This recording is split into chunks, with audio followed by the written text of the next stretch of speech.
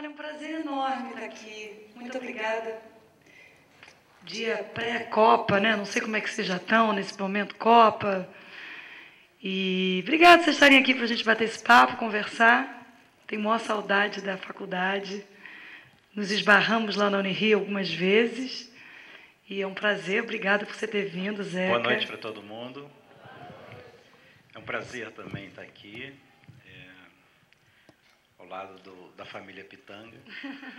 Estou aqui de coração aberto para conversar, tá bom? É, boa noite. Você vê, a Camila chegou aqui e já quebrou qualquer tipo de protocolo. Pois né? é, tinha. Não, não. pois tô eu me toquei, brincando eu já vim falando que estava todo mundo tão sorrisos tão gostosos. Não, eu tô falei, já brin- queria dar boa noite. Então, é esse, isso é o nosso espaço, esse é o nosso projeto, né, onde a gente se sinta bem e, né, e, e faça o, o programa, né, o evento.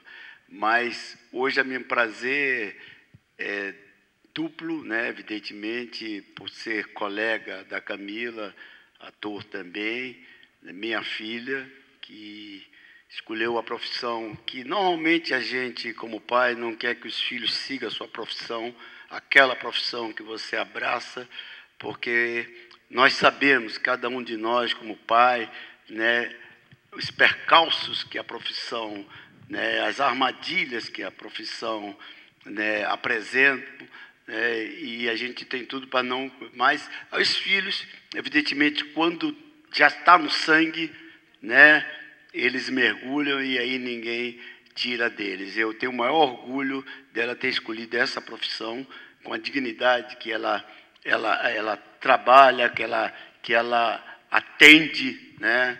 e o respeito que ela tem pelos colegas. Então, isso muito me emociona pelo tipo, pela maneira que, que trabalha, que constrói a sua profissão. Então, hoje, Camila, eu estou aqui como entrevistador. Ah, tá bom. Entendeu? Ok, beleza. Tudo bem, vamos ver como é que isso vai dar.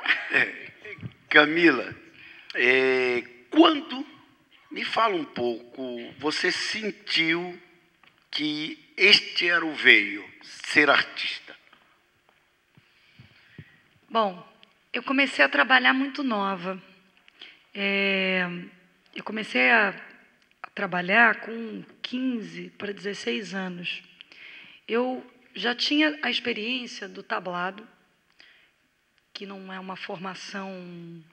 Enfim, é um- foi, foi ótimo, foi muito bom. uma- eu estava no palco, mas eu não era uma, não era uma segurança, né? De, não era, nem era uma escolha pessoal ser atriz. Tem gente que desde garoto, eu vou ser médico, eu vou ser advogado. Eu não tinha essa, essa, eu não tinha nem me perguntado isso direito. Então eu comecei a trabalhar muito nova e fiquei famosa muito rápido também. O que foi um foi bom, mas foi um atropelo num certo sentido, num primeiro momento, porque eu achava fora do tempo, sabe? Fui muito garota e eu sentia que assim, por um lado eu tinha uma cobrança e uma autoexigência de quem já estava no mercado, mas eu não me sentia dentro do mercado, sabe, de coração ali. Não era uma escolha ainda. E aí, o momento que foi importante para. E aí, Camila, qual é? O que, que tu quer? Pensa agora. Foi no momento mais crítico. Quer dizer, tiveram outros, mas esse foi bem importante. Eu fiz uma peça de teatro, Orfeu da Conceição, com Haroldo Costa dirigindo. E era, a estreia era no Municipal. Era um espetáculo, um grande espetáculo, né, escrito pelo Vinícius, pelo Tom Jobim, um clássico da música brasileira. Tinha todo um e um projeto muito acalentado pelo Haroldo, enfim, projeto da vida dele, quase. Ele tinha trabalhado como ator no palco e agora ele estava dirigindo. E, e era no municipal, sabe? Era a gente ali, a negrada toda no, no teatro municipal, tinha essa responsabilidade de estar ali, de fazer aquilo da melhor maneira possível. E eu fui vendo que eu, eu fui percebendo com mais clareza, e o palco ele é muito cruel, ele é muito bom, ele é muito revelador, mas ele, ele não mascara nada. Ali eu vi que eu não sabia muita coisa. Praticamente eu não sabia nada. Eu não sabia, eu não tinha voz, eu não tinha ideia do estar no, no espaço. Porque uma coisa é você improvisar no tablado, com a tua turma ali, sentada na plateia, os pais, mal ou bem, são mais condescendentes, acham tudo que você faz mais engraçadinho e tal. E a televisão, você repete, você volta, e também não tinha feito papéis que me exigiam muito. Ali, não tinha muita saída, sabe? E eu entendi isso na cena. Isso foi muito duro, muito duro. Eu sofri muito, muito. Nossa Senhora, como eu Você sofria. já tinha feito novelas, né? Já, já estava trabalhando, mas ainda, mas não era, estava trabalhando, estava fazendo, mas como eu tinha dito, não era uma escolha, não era uma decisão. Então, é, ali na dor, eu tive que pensar, vem cá, o que, você vai fazer, Camila? Você quer desistir? Você pode desistir, você é nova, vai estudar, fazer uma outra coisa, ninguém está te forçando a nada. Você quer ou não quer? Aí eu parei, pensei isso. Eu estou fazendo uma imagem de uma cena que não foi exatamente essa. Parei, pensei e falei, é isso eu quero. Isso é cena de novela. Mas o fato é que foi fortalecendo ali uma escolha. Eu vi que eu tinha que ter uma formação, que eu tinha que estudar para poder fazer aquilo com mais segurança, com mais técnica, para sair do pânico. E isso é uma caminhada que até hoje, embora eu tenha feito, me formado né, na teoria teatral lá na Unirio, que me deu muita base, eu me sinto uma estudante. Eu sou uma estudante. Eu até comentei ali atrás que penso em voltar a fazer uma pós, uma pesquisa, já em algum tema, alguma coisa que me interesse, porque me instiga tanto, eu adoro estudar. Isso é uma coisa que eu acho que é uma sorte minha, eu gosto. E a faculdade me ajudou muito nisso, nessa coisa da pesquisa. Enfim, vou responder só o que ele me pediu. Mas eu, eu, eu só falo queria, muito. eu queria falar só uma coisinha, Camila. Fala.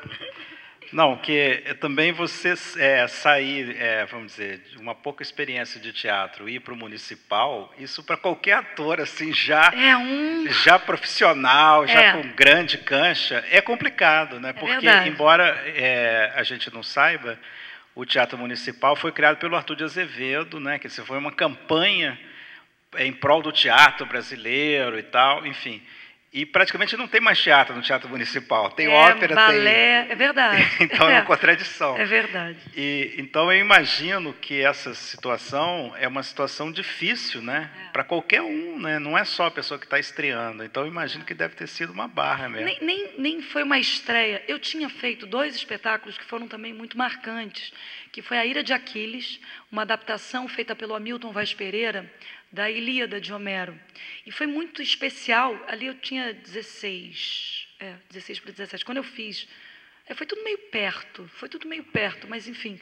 um- então, antes da peça do Orfeu, não estava aqui, mas, enfim, eu fiz essa peça, que foi um barato, porque tinha uma seleção, tipo, foram fazer essa seleção umas 200 pessoas, e aí era uma triagem, assim, que ia diminuindo, até que ficou um time, assim, um grupo de 30 pessoas. Então foi, cara, tá ali com o nome naquela seleção, era gol, ah! ali, a atriz estava animada naquela história, eu estava muito imbuída. Ali, foi um gol, assim, eu ter entrado, estar participando, foi uma coisa assim que mas era, era- tinha um mal ou bem era, um- era um- um- um- uma experiência mais experiment, experiência experimental mas era um teatro É, mas é mais me- artesanal. é, menos expectativas não era o municipal que tem um É, peso e tem depois peso, é. fiz uma outra peça no Teatro Nelson Rodrigues também uma continuação dessa pesquisa do Hamilton mas sem dúvida que é, é, o, o municipal ele tem uma aura né É. ele tem uma e, e tinha essa coisa que como eu já estava conhecida ali na Ilíada e na Odisseia eu não era conhecida Uhum, então eu estava fazia parte de um grupo uhum. não- minha cabeça não estava prêmio. Sempre tá, mas é diferente. No Orfeu tinha Camila Pitanga, Norton Nascimento, hein? Caramba, no município. Resposta aí, Foi resposta. punk, foi punk. Mas foi muito bom, mas foi muito bom. É, é essas ciladas, essas, esse- eu acho que isso na vida, né, gente? Isso para qualquer profissão, eu acho que quando a gente a- pega o momento difícil e eu estava lendo hoje alguma coisa, acho que era do Dalai Lama ele falando isso, que quando a gente está sofrendo e a gente pergunta o porquê do sofrimento, é a melhor maneira da gente sair dele. Quando você se distancia e pensa o que, que eu posso decidir, escolher a partir dessa experiência. Foi um pouco isso que aconteceu comigo nessa história lá do Orfeu. Mas é engraçado que nessa né, pseudo de piração, né, vou, não vou, vou por aqui, eu não vou, né, eu me lembro que você criou uma turma, né, ah, organizou uma turma de filosofia. Né? Fala desse momento que era muito bacana. Né? É. Você, para sair do teatro, foi para a filosofia. É verdade. Eu tive a sorte, que é, um, é muito, muito importante na minha vida esse encontro. Eu não lembro por ocasião do que eu fui parar numa aula do Cláudio Piano um, ele já faleceu, já tem alguns anos. Ele é um era um filósofo, é um filósofo, e ele dava aulas. E ele dava aulas de filosofia, um cara que assim, tinha um recorte assim fantástico sobre filosofia, sobre arte, sobre música. Era um, eu com 16, 17 anos, era punk, porque por um lado tinha muita beleza, mas era uma cabecice, digamos assim, um, campo de ideias, um, uma, abrir a cabeça ao meio, sabe? Pensar na percepção, na em concepção de tempo, de, de entendimento sobre o que é arte, sobre visão de mundo, porque ele é assim, digamos, não sei quem conhece um pouco de filosofia, ele é um delesiano, mas era um cara que falava de todo mundo, Bergson, Proust. É, olha, era, e era uma aula que era uma obra de arte. Eu amava assistir aquelas aulas.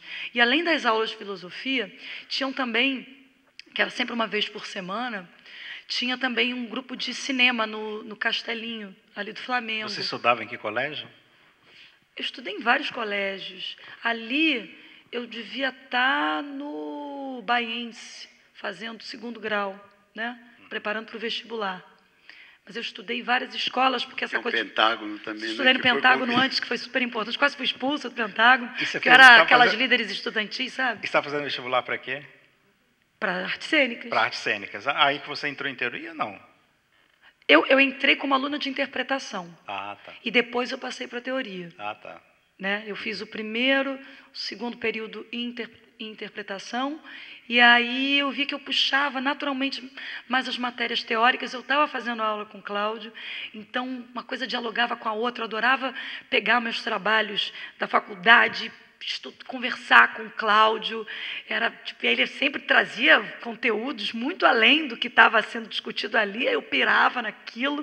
Olha, era emocionante, era muito emocionante. Aí, depois é, de, de, de fiquei um bom tempo fazendo aula com o Cláudio, eu acabei, eu e um amigo, a gente juntou um grupo independente das aulas do Cláudio, que tinha gente da música, tinham atores, tinha um, um, estudante de cinema.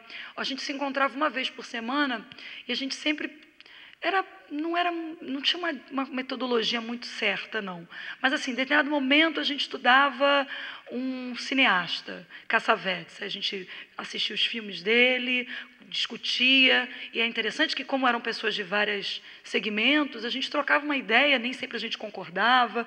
Às vezes tinha o André Monteiro, que era a pessoa que era tipo professor, assim, ele trazia, mandava textos para a gente estudar uma lida, a gente pesquisava, era, era bem, bem fluido, assim, não, não, não, tinha uma coisa, a gente chegou quase a, a fazer uma, uma proposta de performance daquele grupo, que acabou que não vingou.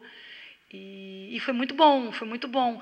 Era essa minha, isso fazia parte da minha busca na minha formação, que não necessariamente estava certo que seria ser atriz, mas eu sabia que eu estava que a, que a minha história era no campo artístico.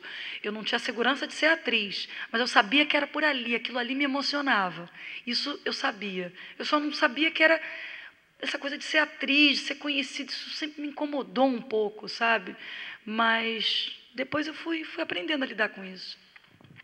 É, você estava falando aí, eu estava me lembrando também é, da, de como é que as coisas vão acontecendo às vezes na vida da gente, né? Eu, por exemplo, eu nunca pensei em fazer teatro. Sempre eh, minhas coisas eram artes visuais e sempre trabalhava com desenho e tal e É, com 13 anos, 14 anos, eu levei meu, meus desenhos para o Ziraldo. Ah. E aí é, ele falou, ué, mas você é da direita? Porque a minha família era da direita.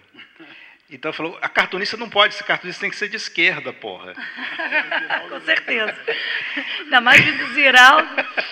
E aí eu comecei a desenhar, desenhar, desenhar. Comecei, aí publiquei no Pasquim, publiquei no Correio da Manhã e tal. Então fiz, comecei uma carreira muito precoce, com 15, 16 anos.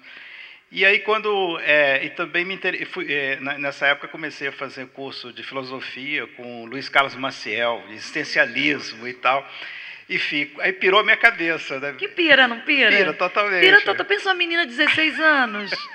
não, 16 para 17 olha, anos. Teve um dia. Duas vezes por semana. Teve um dia que, eu, punk, que, que no meio do, do ser e o nada, e a morte, não sei o quê, não sei o quê, eu falei, professor, eu queria fazer uma pergunta. E para o, para o existencialismo, o, o amor, como é o amor? De chope, tu, tu trouxe Foi uma pergunta... coisa, todo mundo me olhou assim, pô, esse garoto aí tá pirado, pô. E aí teve um belo dia que eu fui fazer um trabalho, no, estava no segundo colegial, né, na época segundo colegial, e aí tinha que fazer um, ah, por que, que não escreve uma peça e tal? Eu escrevi uma peça, assim, em questão de três ou quatro dias, e a peça era o aparentemente estranho caso de um homem que foi condenado à morte por tentativa de suicídio. Que beleza, gente. Leve. e aí encenei a peça. Aí veio o professor de teatro e disse, mas você é um grande ator, um grande diretor, você tem que fazer teatro. Eu falei, ei, ei, ei. e a partir daí comecei a prestar atenção que realmente eu tinha... Ou seja, às vezes a vida traz... Te pega, te pega. E, e, te leva, né? É, é. Então, é, eu queria falar também assim, que quando eu fui convidado aqui para entrevistar a Camila, eu falei assim, mas eu, por que eu, enfim, eu não sei e tal. É, fiquei muito é, pensando, eu falei, não vou recusar, porque eu não sei o que, que eu vou falar, o que, que eu vou entrevistar e tal.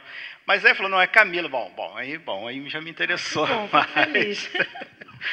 Não, porque assim, eu acho que você tem um trabalho muito interessante. É, eu não conheço tanto o seu trabalho em teatro, quer dizer, eu vi, eu acho que uma peça só que você fez. Porque a minha carreira é curta também no teatro. E gostei muito, achei super bacana. Então, é, e também, quer dizer, encontrei você algumas vezes lá no, no na escola, assim, a gente se cruzou. Acho que eu estava voltando de, do meu doutorado doutorado, do pós-doutorado, e, e, você estava terminando a escola, acho que foi isso. É, eu queria então saber, assim, para você, como é que foi é, esse processo, né, da, da, de entrar na escola, o que que, como é que foi, é, o que que você, enfim, se é importante isso, se não foi determinante para sua para sua carreira, enfim. Uhum. Olha, Zeca, foi determinante, sim, foi determinante, sim.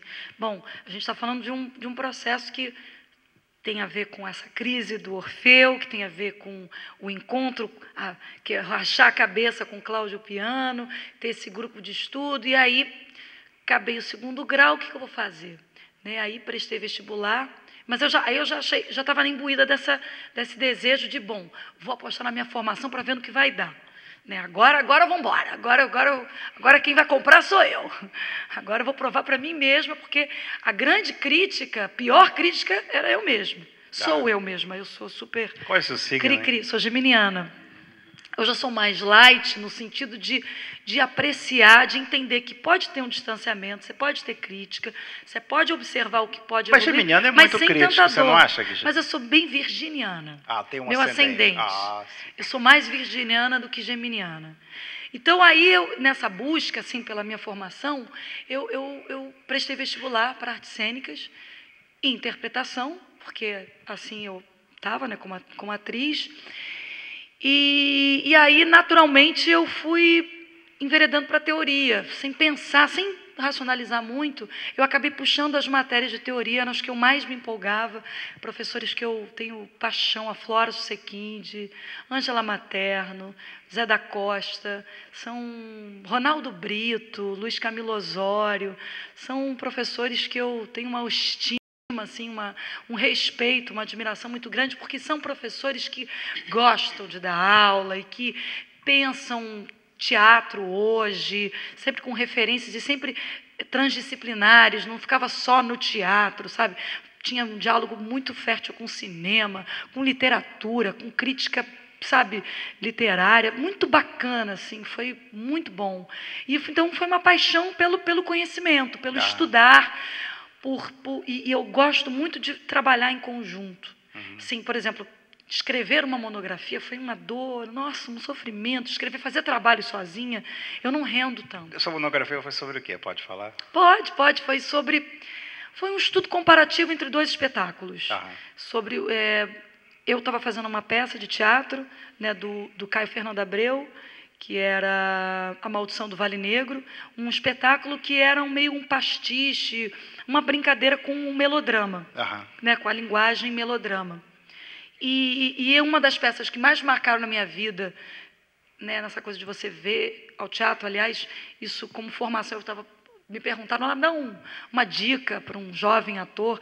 Eu acho assim, tem que estudar mesmo. Para mim foi muito importante, a formação da academia foi muito importante, mas assistir o trabalho de outros colegas, se inspirar, isso é, putz, isso é, é, é uma grande escola. Eu vou muito ao teatro, vejo muito cinema, tento estar muito conectada com o que está acontecendo, porque é uma, uma grande referência, fonte de, de nutrição, digamos assim, artística. E, e, uma peça que me que ficou muito impactada com, com a mise-en-scène, mas muito com, a, com aquela força daquele grupo, né? com o grupo do Kiki Dias, a peça Melodrama. Uhum. Eu adorei, achei aquela proposta ali naquela época assim, sensacional, e aquela dramaturgia sabe, fragmentada e, e, e, irônica, sabe? Eu achei muito interessante, achei. Então eu fiz, eu estudei sobre isso. Então a faculdade, ela tem um papel para mim muito importante porque tem essa afirmação de uma referência, sabe? De porque enfim, eu acho que em qualquer profissão, quando você tem uma maior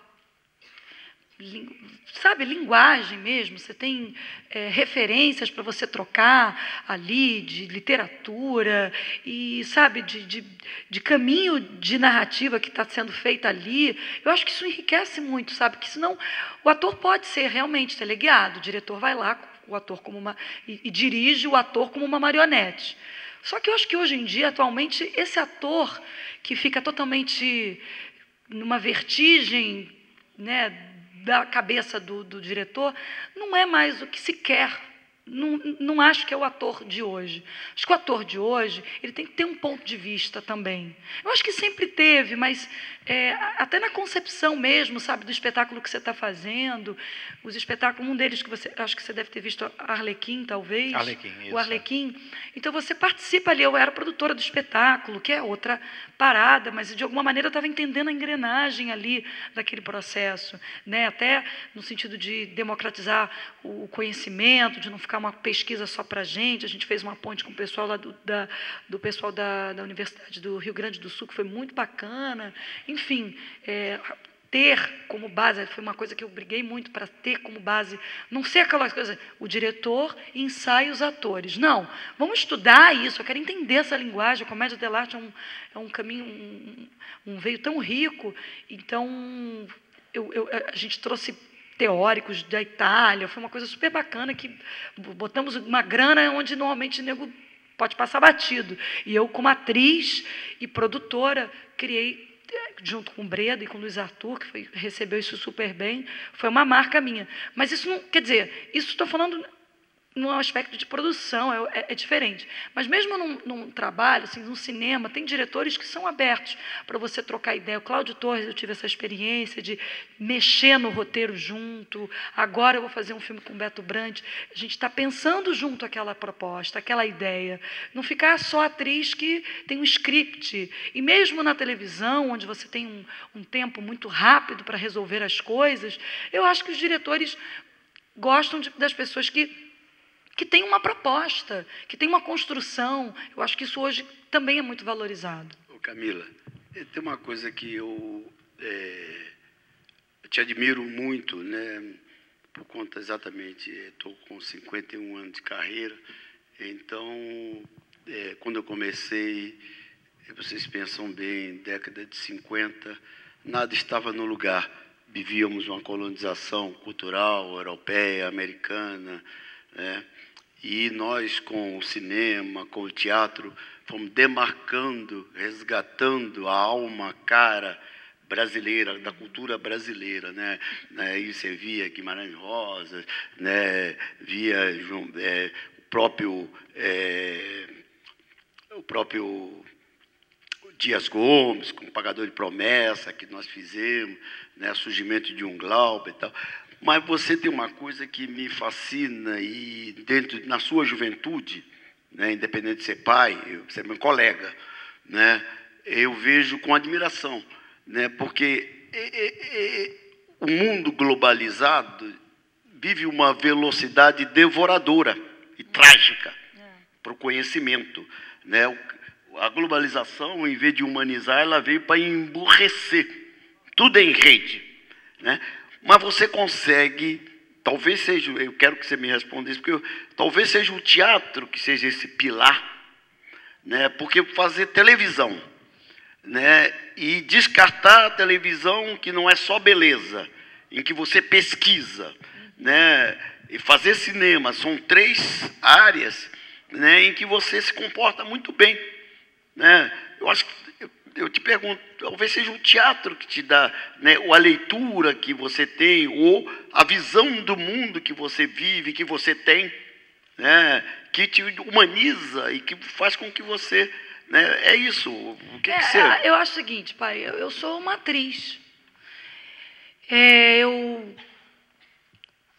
É, assim, eu até entendo que tem o ator de teatro, pessoas que têm uma especialização e isso é bom e é ruim. Quando eu digo eu sou uma atriz, ou seja, eu não sou uma atriz de televisão, eu sou uma atriz de cinema, não sou uma atriz do cinema, isso tem um lado, tem uma plasticidade que pode ser interessante, mas tem o risco da superficialidade também. Só que assim, eu encaro todo trabalho que vem para mim, independente do veículo, é, é o meu trabalho. Não interessa. Eu televisão, eu ensaio. Eu alugo uma sala, eu vou pesquisar, eu vou fazer laboratório com a mesma entrega, a veracidade, como eu faço no teatro, como eu faço. Embora tenham demandas diferentes, tenha um tempo de execução, na qualidade, o tempo para você resolver na hora, você interagir, possa ser diferente, mas é um exercício de atuação. Eu encaro dessa maneira. E, e, e me preparo com, com vigor me preparo de verdade. E eu acho que a faculdade foi muito importante porque ela me deu essa coisa da pesquisa, dessa coisa de se preparar para, seja para o que for. Né? Então, é, você se prepara para um trabalho de figurino, você se prepara para um trabalho de cenografia, você se prepara para um trabalho de, de história da arte.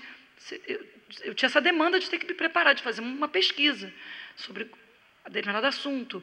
E eu acho que, o, o, como atriz, eu me interesso, eu gosto de gente, eu gosto de observar. É uma maneira que eu tenho de me engrandecer como ser humano, porque eu não faço. É, a cada personagem, a Camila Amado, que é uma pessoa que eu tenho o maior respeito, carinho, admiração, ela me disse uma coisa que eu, que eu, que eu acho que é, que é muito isso mesmo para o ator. Cada, ator, cada personagem é a possibilidade de cura, de muitas coisas, é a possibilidade de você se rever, de você se repensar. E é assim que eu encaro cada personagem que aparece na minha vida, sabe?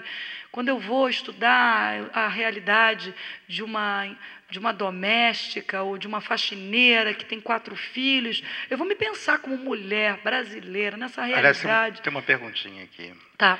Qual personagem que mobilizou em você o maior esforço de criação? Foi a Bebel? É difícil, porque todos me mobilizaram. A Bebel me, me mobilizou bastante. Foi um trabalho muito especial, mas eu não sei se ela seria a que mais me mobilizou. O espetáculo de, o, o, de teatro é, Arlequim Servidor dos Dois Patrões, eu tinha que fazer comédia dell'arte, que é um trabalho, um, um teatro que tem toda um, uma preparação corporal, putz, punk, assim, super difícil, muito específica, de tradição, uma tradição italiana, que, né, que não tem nada a ver a, a, princípio com a gente, mas que eu acho que tem muitas pontes com o nosso teatro, com a nossa comicidade também, né, com o nosso co comediante brasileiro, mas é, me exigiu para muito, mas muito. Não sei, essa, essas estratificações de quantitativas, sabe? É difícil, dizer, é difícil, porque eu acredito que qualquer aluno aí de jornalismo, quando ele estiver na profissão, estiver trabalhando, não sei, pode ser que determinado personagem que ele vai ter que entrevistar possa ser mais instigante a primeiro. Mas eu acho que qualquer trabalho que você tem que fazer, você, mesmo que não seja da tua área de interesse, você tem que se preparar, você tem que Então, eu não sei, eu não sei dizer Mas direito. a, a, é, a, a, superexposição da Bebel, né, ela te trouxe dentro desse comportamento, da maneira em que você é, trabalha os, os seus personagens, né, ela te trouxe né, uma maneira muito rica, né, porque você, ao entrar nesse universo, né, você pode humanizar a Bebel. Né? Você conversou com as mulheres de vida chamadas mulheres de vida fácil, né? Que eu gostaria que você falasse desse momento, porque é, é, quando você eu vi uma entrevista sua que você diz assim, não, a Bebel, uma prostituta, é, ela é, ela é uma profissão. Tem gente que gosta, tem gente que não gosta, tem gente que faz essa profissão, tem, tem filhos e tudo, porque você foi à associação, você conversou. Poderia falar um pouquinho dessa, é, porque é um universo humano né, em que a gente não quer, joga para debaixo do tapete, não quer conhecer, não quer saber, e você é, trouxe uma personagem com um vigor a partir exatamente dessas pesquisas, dessas conversas, dessas entrevistas, você pôde pontuar, eu vou por aqui, eu vou construir a Bebel por aqui. Isso é muito bom falar, porque a exposição dela todo mundo viu Bebel, né? No teatro a gente já tem um, né, um número limitado de pessoas que vão ao teatro. Bom, a Bebel realmente trabalhei bastante. Eu fui, conversei com, com prostitutas lá na Daspu, foi muito bacana a conversa com elas. E ali, na verdade, a grande revelação foi de entender que era tudo muito mais simples. Que elas são profissionais, que na especialidade, na especialidade né, especificamente elas trabalham com sexo e que e que não tem aquela assim qual era a impressão que eu tinha? Ai, todas devem ser sofredoras, e que, que, profissão horrorosa. Ai, eu como mulher naquele lugar, eu não sei como é que eu lidaria com aquilo. Sabe, claro, burguesa, filha de ator, ainda que seja mais liberal, mas eu como mulher eu achava aquilo muito humilhante. E ali, quando eu conversei com elas, e tinha um painel de mulheres de, de idades muito diferentes, eu vi que, olha, tem histórias e histórias. Assim como tem atrizes e atrizes, tem atrizes que se realizaram, tem atrizes que são tímidas, tem atrizes que são extrovertidas, tem atrizes que são é, que amam com paixão e são instigadas, tem atrizes que são mais acomodadas. Você tem prostitutas assim também. Mulheres que amam e que vestem a camisa e que falam, olha, eu sou prostituta. Não fala nem isso, fala, eu sou e com maior dignidade e que construíram suas famílias e que têm os seus filhos estudando até, e também tem histórias trágicas, dificílimas de mulheres que foram estupradas, que chegaram a a prostituição por caminhos muito difíceis, muito doloridos, ou seja, que na verdade eu tinha que construir aquela personagem, a minha Bebel, a minha puta. Como é que ela? Qual a história dela? O que tem a ver com ela? Então, isso foi uma, uma, boa liber, uma grande liberdade que eu tive né, para sair do estereótipo, seja do estereótipo que eu tinha da coitada, da mulher humilhada, e também da mulher devassa, que, ah, que é dominadora de tudo. Por isso, talvez a questão da humanizar o personagem, de entender que ela também, mesmo ela que era uma moleca, que era muito engraçada e tal, ela também tinha suas dores, tinha suas falhas. E eu acho que o Gilberto Braga e o Ricardo Linhares foram muito felizes, ah, sabendo dosar isso de uma maneira muito legal. Mas eu, eu acho que é, isso é, é, uma coisa que eu acho bacana no seu trabalho e, e acho que tem alguns poucos atores de televisão que conseguem é, fazer é, trazer essa visão que eu acho que é uma visão política do personagem. É, exatamente, é verdade. É porque muitos vão representar e apresentam é, só fetiche, um lado, só o é, fetiche. só um lado, entendeu? E, e, não humanizam o personagem.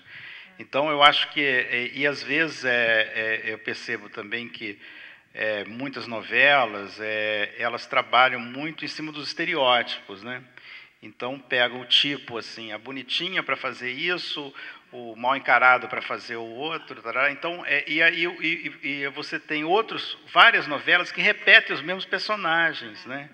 Então a gente fica um pouco com esses estereótipos, né? Então é, é sempre quando quando vai apresentar é, um, um, um, homossexual é, é a, a, bicha, é, quando vai fazer a puta é a puta, assim, é, geralmente é, sem ter as contradições, né? sem mostrar os outros lados. Né? Então, eu acho bacana, eu acho que o seu trabalho é muito generoso, eu acho que isso é uma coisa interessante. Porque eu me alimento muito disso, Zeca. É isso que eu estava falando, assim. é, falando parece texto, parece, mas é verdade. Me engrandece muito como ser humano. Eu, eu, quando agora a oportunidade que eu tive agora na última novela em Cama de Gato, eu fui fazer uma faxineira. Ela até pouco teve a experiência como faxineira, ela ficou muito mais marcante a questão dela como mãe de quatro filhos, mas de qualquer maneira era uma, um universo totalmente diferente do que eu já tinha feito, salvo a, dizer que eu tinha feito em Belíssima uma faxineira, mas era uma menina muito mais jovem, que tinha uma criança que ela adotava, era, era bem diferente. Nessa agora era uma mulher vivida, mas até mais velha, que exigiria que eu fosse até um pouco mais velha. O certo era que fosse uma atriz mais velha para fazer aquele papel. No primeiro momento eu falei, meu Deus, mas será? Vocês, estão, vocês acham que eu vou dar conta disso aqui? Mas eu gostei desse desafio e foi muito interessante isso, porque cada personagem me dá essa, essa experiência humana, sabe? Eu vim na IBM para conversar com, porque era uma, não era uma faxineira de casa, que é bem diferente uma faxineira de empresa. Como é que é o universo de uma faxineira de empresa? O piso salarial, quais são as exigências, qual é o horário que chega? Ganha muito pouco. E, e, e, e aí você entende também um extrato social de mulher, que, que, que é uma coisa de, dos últimos dez anos, ou mais, um pouco, mas de mulheres que são um arrimo de família, mulheres que dão conta de tudo, sabe? São donas de casa, cuidam de três filhos, se viram separadas, o cara abandona, aí tem um filho com um cara, depois tem filho com o outro, porque também quer ser feliz, quer trepar, quer beber, mas aí tem que trabalhar, tem que dar conta daquelas crianças, enfim. É, é, foi, foi, é, e aí, quando você, eu me aproximo disso, eu me aproximo de gente que eu adoro, eu adoro, eu, eu me alimento muito disso como ser humano. É, a gente está falando um pouco da, da, das demandas, né? quer dizer, das demandas que chegam para você, as propostas que chegam, é, as coisas que você, de certa forma, vai atendendo é, e desenvolvendo à sua maneira. Mas eu queria saber, assim, eu e alguns, alguns espectadores aqui presentes, é, sobre assim o que, que você sonha fazer, o que, que você sonhos impossíveis, sonhos possíveis, que personagens você gostaria de interpretar no próximo ano, nos próximos 10 anos, nos próximos 20 anos, enfim, o que, que, você sonha? Eu, particularmente, sou interessado nisso. Tá. Olha, eu sonho verdadeiramente em, voltar ao teatro. Eu tenho desejo, necessidade de voltar ao teatro. Eu tenho muito respeito pelo teatro. E, e, e talvez por um excesso de respeito, eu estou muito. Não achei ainda alguma coisa que eu quisesse dizer, porque eu acho que o palco, essa, esse encontro que a gente, essa oportunidade que a gente tem de poder estar frente a frente, ao vivo, é muito forte e não dá para ser banalizado, sabe? Então eu estou nessa busca. Agora eu já estou num momento melhor disso, já tenho amigos dramaturgos que já estão escrevendo coisas, já estou num passo adiante, mas não, não caberia adiantar o quê. Mas é, é, o sonho é esse, sabe? O sonho é esse. Mas, assim, no, no, teatro, tem alguma, alguma peça, particularmente, que, que te emociona, assim, que você pensa fazer, sonha? Um desafio? É. Tem um espetáculo que se chamou Leitor, que, já, que foi feita um, uh, do Sinisterra, já foi feita acho que uns dois anos atrás. E eu não vi a montagem, eu nem quis ver, porque eu, eu, eu tenho paixão por esse texto. Uhum. Acho ele dificílimo, dificílimo. E é um, é um momento, talvez aí, não agora, eu ah. acho que eu não me sinto pronta para fazer, mas é uma peça que eu, que, eu, que eu gostaria de fazer. Certo. E que mais? Olha, eu acho que esse, é, assim, quando eu digo quero voltar ao teatro, na verdade é voltar até essa linha mais direta com, com, o, com o teatro. Não é assim a peça, não tem o personagem. Sei. É, na verdade, é de estar envolvida com a turma do teatro. Sei. E você se identifica, aqui tem uma pergunta, você se identifica mais com, com comédia, com tragédia, é, enfim...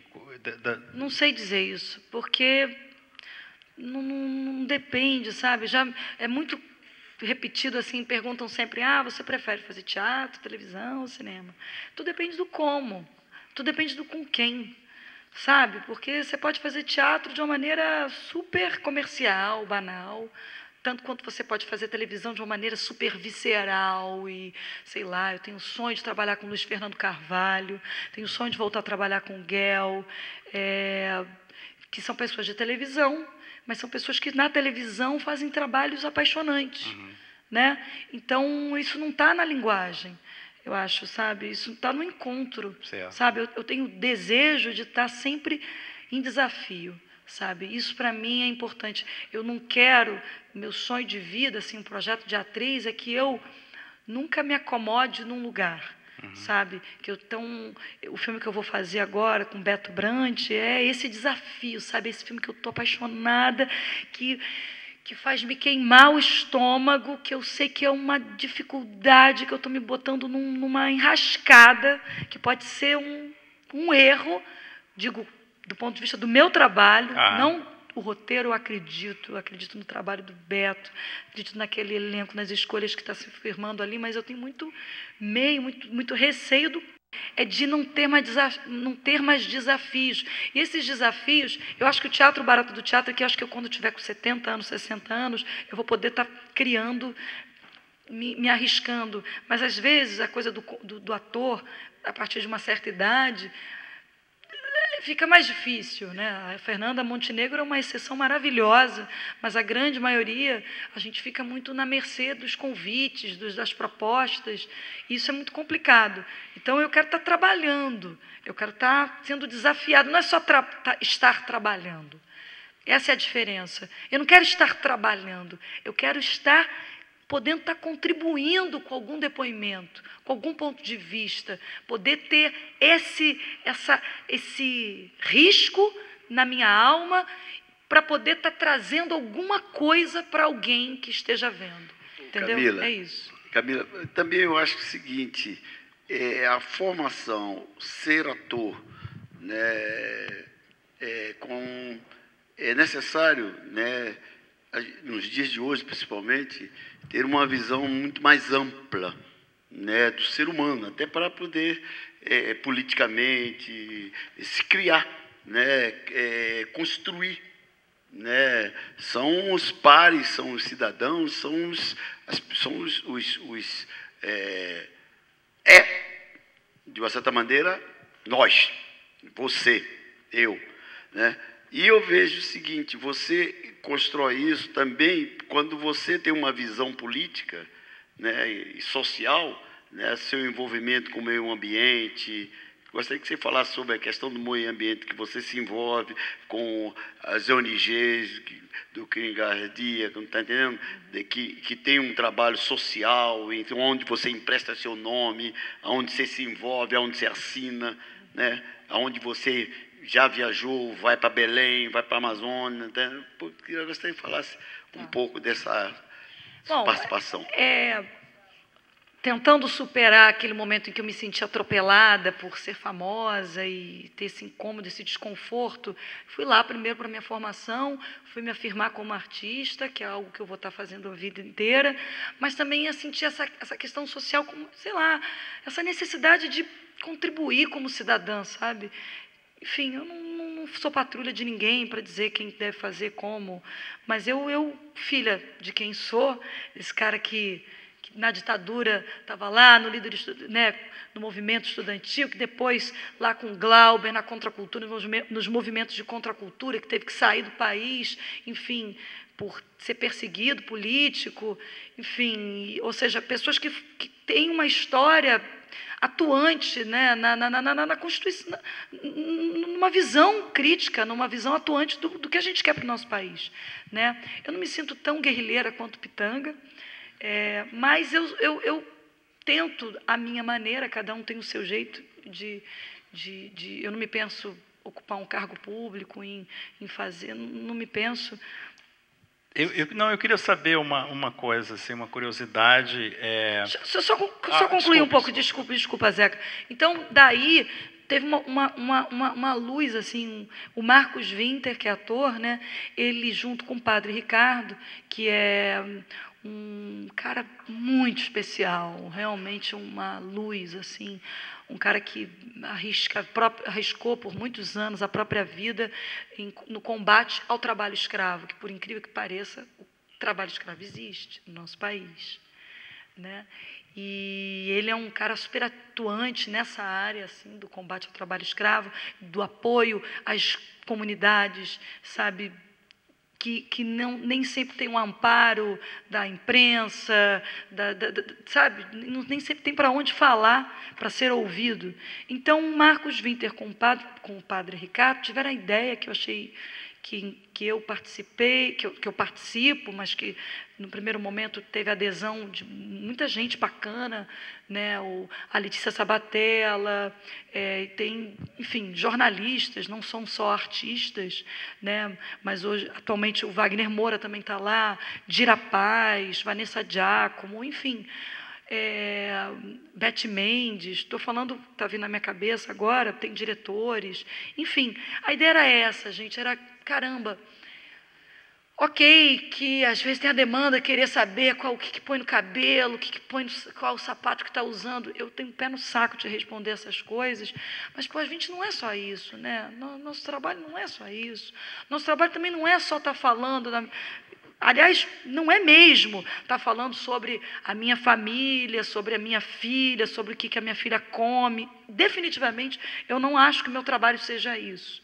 E, e a demanda, muitas vezes, a maioria das vezes, é essa. Então, vamos, vamos, vamos dialogar com isso de uma maneira mais proativa. Vamos tentar dar luz a quem precisa, dar voz a quem precisa. Então, daí nasceu o Movimento Humanos Direitos, que é uma ONG da qual eu faço parte, essas pessoas que eu falei também. Tem pessoas que não são artistas, tem advogado, tem jurista, tem médico, enfim, é, que é uma ONG que que tem por objetivo ah, aproveitar a visibilidade que nós, artistas, temos para abrir espaço para quem não tem esse espaço, né? para poder dar luz, dar espaço, dar a voz para essas pessoas que precisam e que muitas vezes são os grandes heróis, são pessoas que têm, que arriscam as suas vidas em prol de uma causa, de uma questão. E aí tem o combate ao trabalho escravo, daí tem a questão do meio ambiente, daí e, e quando a gente fala do meio ambiente, isso é, é, é, não, não é o meio ambiente que a gente Muitas vezes, os, os, problemas que a gente vive aqui na nossa cidade têm a ver com, muito deles tem, tem a ver com o meio ambiente. Quando você tem uma cidade inchada, porque lá na, nos rincões do interior do Brasil as terras são griladas, a impunidade ela é o que assola, você tem pessoas sendo mortas porque aquele espaço de terra está em luta, está em briga, ou não tem espaço para plantar e tem que vir para cá e fica marginal. É uma cadeia. Isso é meio ambiente. Nosso problema de segurança no Rio de Janeiro é meio ambiente. Pode não parecer, mas é, é consequência. Porque quando você tem, você não, a gente tem um país, um continente enorme, um país enorme, e que é muito mal distribuído, né, nas suas, não só nas suas riquezas materiais, riquezas naturais, na, poss na, possibilidade que a gente tem de, de, explorar e de respeitar também, respeitar as populações remanescentes, as populações é, é, é, ribeirinhas que são aí expulsas para as hidrelétricas, isso tem que, enfim, eu estou falando de maneira muito superficial, mas é um pouco essa tentativa de, de falar, de dar espaço para essas pessoas, sabe? É, é, é, quando se vocês puderem, vai lá no, no site, é, vai no Google MHUD e aí vocês vão poder saber um pouco mais do que, que a gente tem feito. É muito é, bacana. MHUD, Movimento Humanos Direitos. É, não, a minha pergunta é em cima exatamente do, da questão política. É, eu queria saber, assim, é, eu, eu, tenho uma, um, eu crio uma, um, um tenho um filho é, de uma mulher negra e, e o, o, pai biológico dele é descendente irlandês. Então, ele aparentemente ele, ele não tem traços negroides. É. E, e, ele no Brasil ele não era considerado negro. E a gente foi, é, eu fui fazer o, a pós-graduação nos Estados Unidos. Imediatamente ele começou a ser tratado como negro lá. E ele se descobriu, ele de repente, é, os amigos deles todos eram os negrinhos das escolas. E, e, os brancos não se aproximavam dele. Então ele sentiu lá muito nitidamente, é, de cara, que ele era negro. E no Brasil ele não era negro. No Brasil ele era brasileiro. Isso aconteceu com uma colega minha, colega nossa, que era branca aqui, a Sônia Braga. Uhum. Quando chegou lá era latino, ela só fazia. Não, e assim, me lembro, por exemplo, que um dia ele, ele chegou, é, é, eu já tinha aprendido, aprendeu inglês muito rápido, e ele chegou e falou assim, pai, no Brasil não tem Martin Luther King? Porque ele ficou tão impressionado com a luta tem e Ruth tal. Souza, tem o Tano Pitanga, mas, mas tem Milton gente, Gonçalves, mas, tem Lázaro mas, Ramos. Mas olha, isso, isso é uma coisa muito recente. Então, isso, exatamente a minha pergunta é sobre isso, porque a história do, dos negros é uma história que aparece agora no governo Lula, né? Porque antes não aparecia, não tinha, né? Você diz assim, de oficialmente. Oficialmente, Entendi. oficialmente, não, também é, é espaço, exatamente. Quer dizer, é uma luta é, é, enorme, né? A gente sabe que vem de séculos, mas enfim. É, só agora ela consegue ter uma visibilidade, né? E assim, eu queria saber, é, você, é, como é que você se sente, entendeu, ne- ne- nessa situação toda, entendeu, de, de sendo afrodescendente, é, e, e até que ponto também, eu acho que é um momento também que, é, que está se abrindo é, o mercado de trabalho para atores afrodescendentes, né, que há 10 anos atrás, há 20 anos atrás, era muito mais difícil. A gente tem no cinema a presença cinema novo e tal, mas a televisão é uma coisa bem recente, né? É, então eu queria, porque existe é, tem é, vários artigos e vários livros sobre isso e tudo, mas é, é muito recente que começa a, a, a, o negro passa a ser protagonista, por exemplo. Geralmente tem aqueles papéis clássicos de empregado, de, de enfim. Então eu queria que você falasse um pouco sobre Tá. isso. É, assim, é recente quantitativamente, digamos assim. Mas quando você pensa, Zezé Mota, na televisão, Antônio Pitanga na televisão, Milton Gonçalves di- dirigindo também. Mas, enfim, mas eu concordo contigo de que hoje em dia a abertura é muito maior. Oficialmente é mais aceito. E comercialmente também entenderam de que tinha que comunicar para essa galera, que essa galera compra. Então, é, estratégica, entenderam tarde, talvez, mas acho que a real é essa. Acho que, que vende, compra-se e precisa de ter que comunicar para essa turma que isso está na publicidade, isso está na, na, na, na- na televisão. Ainda bem, ainda timidamente, né? É, eu, eu, eu, eu, eu acho assim, talvez não espelhe o que nós somos, concordo. É, mas se você for comparar, aí é meu ponto de vista. Não, se você tem um país de mais de 45% da população de negros, né, segundo o IBGE, 45%, segundo a pesquisa do IPCN, a nossa chega a mais de 60%, né, você tem quantitativamente, quer dizer, você trocou seis por meia dúzia, né, porque se você tinha no passado Milton Gonçalves, Antônio Pitanas, Osmo Bubu, Ruth de Souza, Léa Garcia, né, é, é, Haroldo Costa, Haroldo Oliveira, que já se foi, você tinha um número de atores. Né? É, você percebe que dentro do desenho, nos quase meios de comunicação. Hum. essas pessoas não estão mais, estão, elas entram de vez em quando.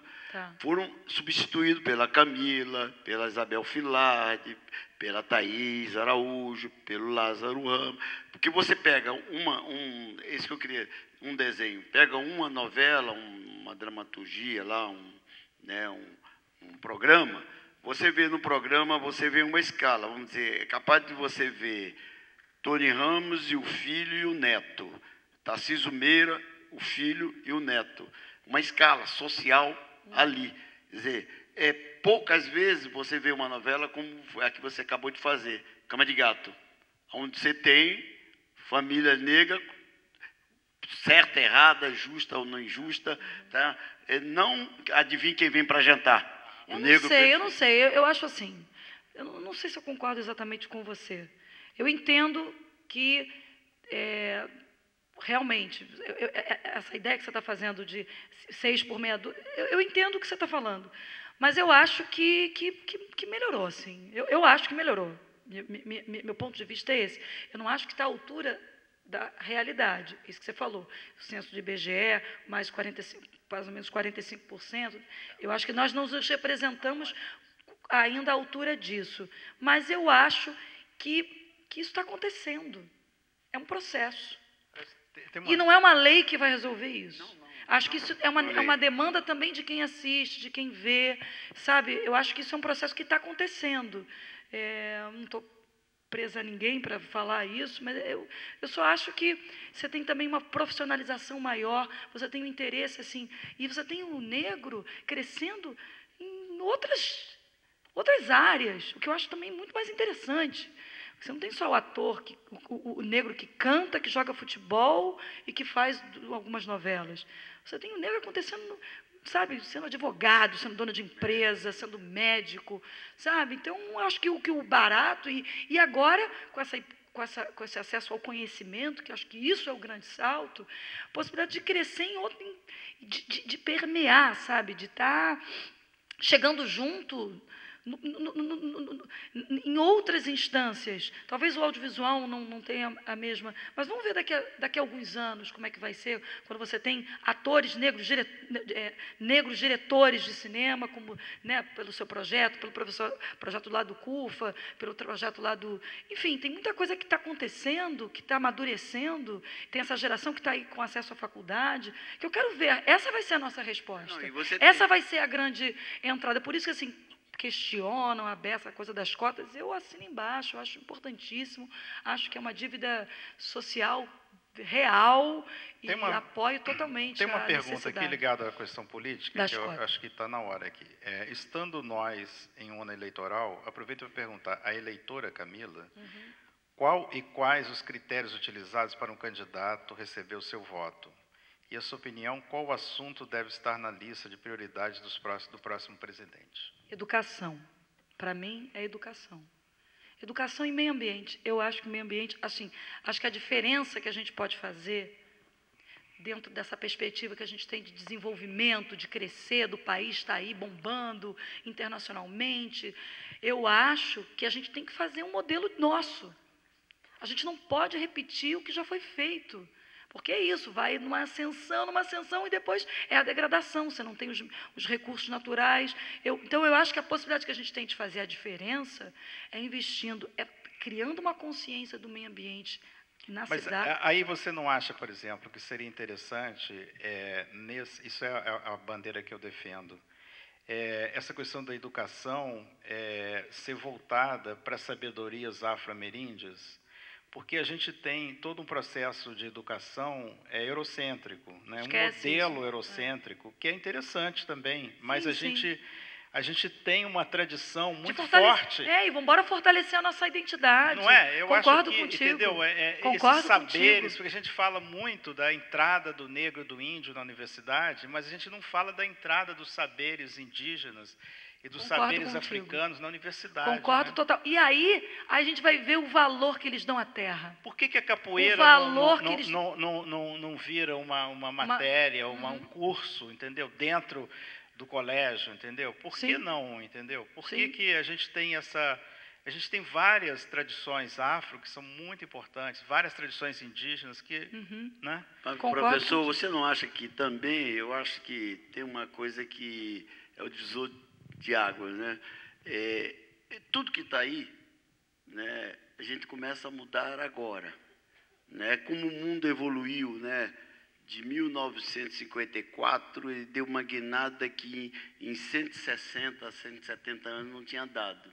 Né? Eu acredito que tudo, a maioria das coisas que está nos, nos escritos, né, no conhecimento, foi feito pelo colonizador, Sim, com claro. uma visão do colonizador. Uhum. Né? Eu acho que a gente nós, é, acho que é, faz sentido o que você acabou de falar, uhum. é uma nova leitura, é uma nova revisitação Exato, às né? nossas culturas. As nossas pois é, mas aí é, é, tudo que a gente está falando converge para a mesma coisa. Claro, claro. É, é, investir na educação, Exato. uma educação que olhe para a gente, que olhe para a nossa história, que olhe para a nossa terra, Isso. que olhe para a nossa cultura, Bacana. entendeu? Que, que, que, e que possa transmitir através dessa da força do, do nosso conhecimento a nossa diferença. Claro. Senão, a gente vai repetir a mesma coisa, a gente vai esgotar tudo que a gente tem Exato, é. e, e- e- e vai ter que brigar, vai ter que fazer guerra, porque não vai ter petróleo, não vai ter. os- É. E aí vai- a gente vai repetir.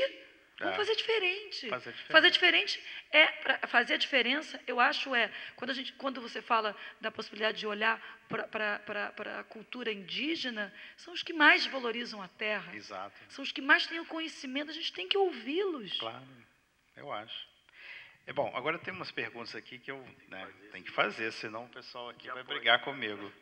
É, tem uma pergunta aqui muito interessante. É, o Lázaro Ramos esteve aqui no último, na última conversa e disse que no próximo trabalho dele vai contracenar com você e te beijar muito. Falou do meu lado. Isso foi só uma provocação para o seu né? pai ou é sério? Fale desse novo trabalho para nós. É sério. Ai, o Lázaro, agora eu vou, agora eu vou, porque bom, existe uma irmandade, um casamento entre Lázaro e Wagner, né? E quando eu estava com o Wagner, eu provocava a beça. Lázaro, agora, amor, você está para escanteio, que agora ele é meu.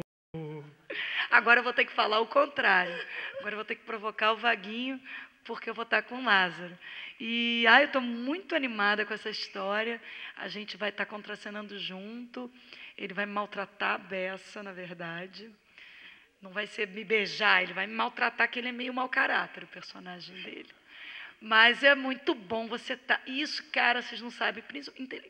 Bom, em qualquer veículo, você está junto, tem uma coxia, ter primeiro atores generosos, ta- talentosos e generosos, porque muitas vezes os atores são muito talentosos, mas não são generosos. O que eu estou querendo dizer? Não joga contigo, joga para si, joga para a câmera. Principalmente em televisão, isso acontece a beça.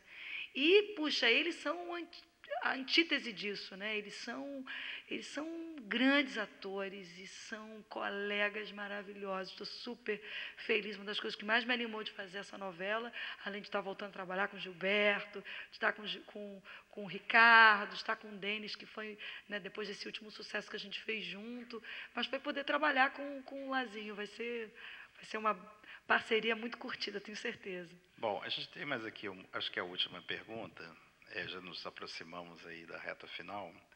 É, você se sente realizada na sua vida, diante das suas conquistas, ou ainda falta algo?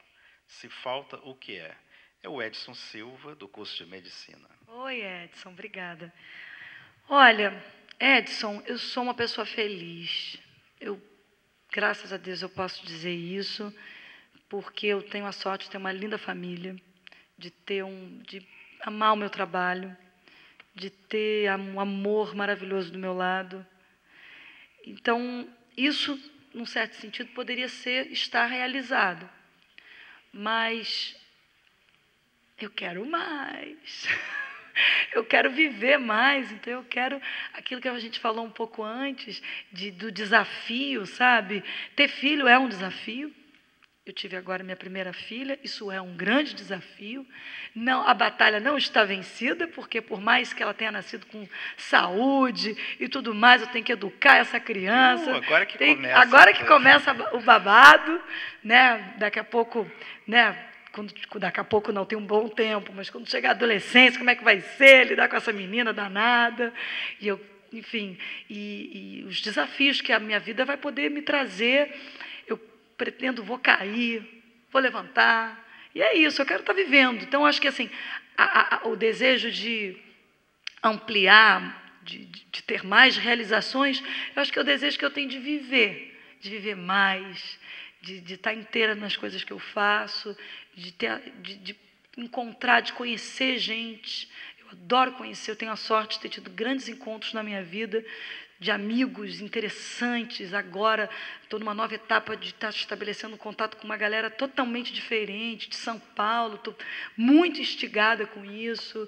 E é isso, é não dá, não, não se esgota isso, né? Porque senão a gente aí a vida não existe vida ganha, né? Porque por mais que você, eu, hoje eu estou feliz, tenho uma sorte de ter uma situação confortável, mas isso não me garante nada amanhã, nada amanhã.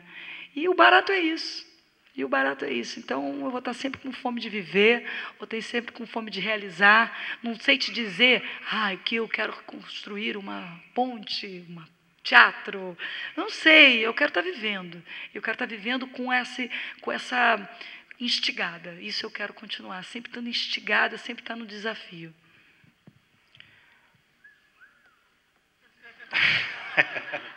Não Bom. é, gente? Não é? Não é um pouco isso? Espero que vocês também tenham essa fome de construir a vida, de viver a vida e de aceitar o que não é tão bonito. Nem tudo é tão bonito. Aqui falando parece tudo muito bonito. Não, tem dores, tem dificuldades, tem, mas elas são são são fortalecedoras, sabe? Tudo que eu vivi de que a gente não chegou aqui, mas eu tive muitas dificuldades na vida. Esse cara aqui, esse cara aqui, filho de uma lavadeira, teve que ser exilado político, sabe? Eu tive todos nós aqui, Zeca deve ter suas dores, todos nós temos as nossas dores. Minha vida não é um conto de fadas. Batalho muito por tudo que eu vivo. Não, eu eu acho que eu tenho sorte, mas eu acho que eu respeitei a minha sorte. E eu acho que é isso que um pouco a gente tem que viver, sabe? É, tem que batalhar, porque nós tem que estar pronto para a sorte acontecer. Sabe? A gente tem que estar se alimentando de coisas, porque às vezes a sorte aparece e a gente, ai, não tem perna para ela. Que dor isso. E já, já perdi. E, e tudo bem, mas eu acho que, que, que, que, a, viver, a viver é isso. E dançar com ela, sabe? Curti-la nas suas dores e nas suas alegrias. Tá bom? Obrigada, obrigada pelas perguntas. Ainda falta? Não, não, já, já, já. Não, eu também queria agradecer a oportunidade, queria agradecer o convite da UERJ por estar aqui, queria agradecer a vocês, queria agradecer essa linda é, conversa que nós tivemos, é sempre muito bom a gente aprender coisas novas, né? Bacana. Obrigado, Camila. Obrigada a você.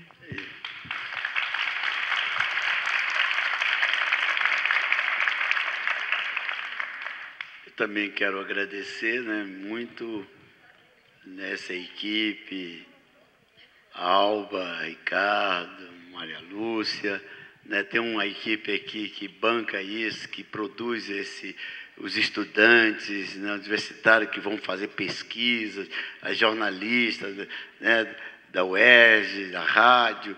Então, acho... Ai, eu adorei o vídeo. Obrigada. Cadê a turma do vídeo? Que graça. Eu vou querer, hein? Mó barato, muito legal. Obrigadíssimo. É, tem uma equipe aqui que constrói isso. E vocês, né, eu acho que é, a conversa de artista né, idealizado exatamente por esses cabeças da UERJ, né, comandada, liderada pelo Ricardo, Maria Lúcia, Daniela Alba, né, tem dado resultado porque o que nós estamos fazendo aqui, queremos fazer, é essa anatomia do conhecimento do ser humano, do artista, né, adentrar exatamente fora da ribalta, das luzes, do palco, conhecer mais a pessoa. E eu acho que a Camila hoje contribuiu muito por esse para esse exercício. Né? Eu fico muito feliz. E vocês também, porque vocês fazem a pergunta, né? tem pergunta e resposta, não é um monólogo. Né? Então eu estou muito feliz. Eu acho que a gente tem conseguido aqui não trazer só a Camila, mas Lázaro, Zeca Pagodinho, Beth Mendes, tantos outros vieram aqui e outros virão né? Eu acho que é esse o papel de troca entre o artista e o universitário, né? o estudante. Né? Eu acho que esse é o papel. Então, só para encerrar, minha filha, eu queria que você, antes de agradecer, né, você, em poucas palavras, dissesse Camila por Camila. Ai, meu Deus! Ai, papai, isso é coisa de pai, né, gente? Camila por Camila. Ai. Atriz, 33 anos, mãe de Antônia, filha de Antônio. Gosta de gente.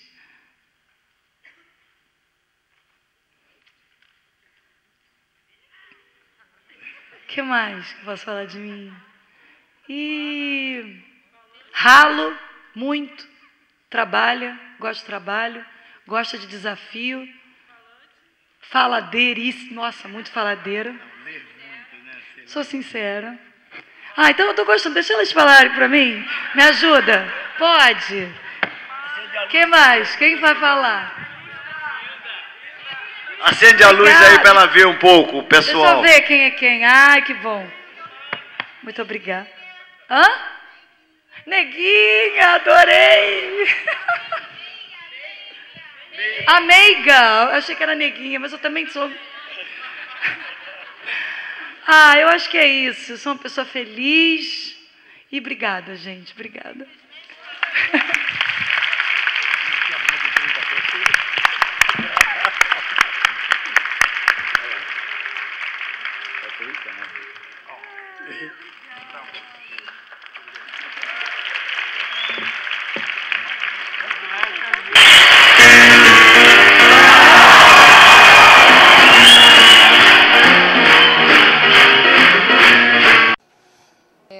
Você que é formada em teoria do teatro, o que, que você acha da formação do ator no Brasil?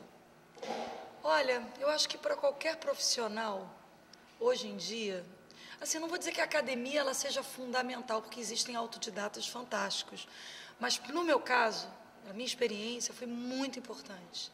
Muito importante mesmo a minha formação, ter referências, até mesmo você ter uma turma, ter colegas. Então eu acho assim, o ator, Quanto mais informações ele tiver, de onde vir, de onde for, melhor. Né? Isso você pode encontrar na faculdade, mas você pode encontrar em, em cursos. Só que eu acho que a faculdade ela cria uma, não sei, uma rede um pouco mais coesa de ideias, que depois você pode quebrar, você pode se abrir, você pode abrir mão, que para mim foi, foi, é base, sabe? Para depois você ir persistir numa determinada pesquisa, sabe, num determinado campo, né? Do que o teatro é, uma, é um mundo vasto de, de, de, de, de, de estudo, de aprendizado, né? Eu me formei em teatro, em teoria teatral. Então eu acho isso, eu acho que eu acho importante a formação para qualquer profissional e para o ator também. E você teria alguma dica para quem está iniciando na formação de ator? Bom, um caminho, uns caminhos seguros não existe, né? Eu acho que você tem que ter muita perseverança. Você tem que amar o que você faz, porque não é um caminho seguro.